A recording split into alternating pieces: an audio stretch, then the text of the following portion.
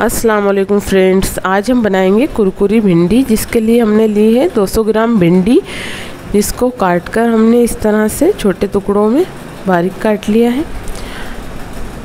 Powder मसालों में लिया है हमने नमक। टेस्ट के हिसाब से हाफ़ टी स्पून हल्दी, वन टेबल स्पून धनिया powder, one teaspoon red chilli powder, one teaspoon अमचूर पाउडर आधी छोटी कटोरी बेसन लिया है। अब हम मिला लेते हैं जो ड्राई मसाले हैं, इनको भिंडी के अंदर और कर लेते हैं इसको अच्छे से मिक्स सारे मसालों को हम इसी तरह से अच्छे से मिक्स कर लेंगे। अगर आप मिर्ची ज़्यादा पसंद करते हैं तो आप अपने हिसाब से इसमें मिर्ची ले लीजिए। अब इसमें हम थोड़ा थोड़ा करके बेसन डाल देंगे।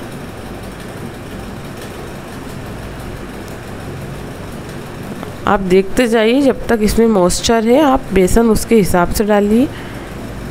जब तक ये थोड़ी ड्राई सी ना हो जाए, देखिए ये इसमें इस तरह से हमें तैयार करना है इन्हें। अब हमने रख दिया है ऑयल गर्म होने के लिए। इसको अच्छा तेज़ गर्म करना है हमें।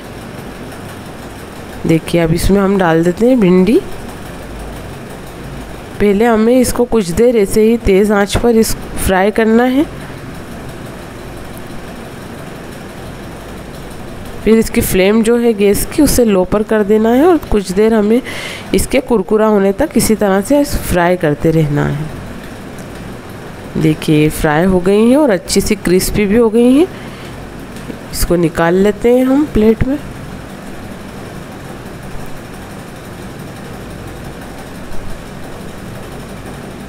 और डाल देते हैं इसके अंदर बची हुई सारी भिंडियाँ। इनको भी इसी तरह से फ्राई कर लेते हैं।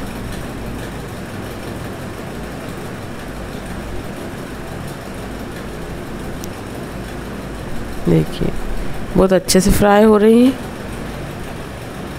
बहुत टेस्टी और बहुत ईजी है बनाने में, आप ये बनाकर ज़रूर ट्राई करिए। इंशाल्लाह आपको ज़रूर पसंद आएगी ये डिश तो फ्रेंड्स बनकर तैयार है कुरकुरी भिंडी। आपको ये रेसिपी अच्छी लगी हो तो प्लीज़ लाइक करिए, मेरे चैनल को सब्सक्राइब करिए और अपने दोस्तों में शेयर करिए। थैंक्स फॉर वॉचिंग अल्लाह हाफिज़।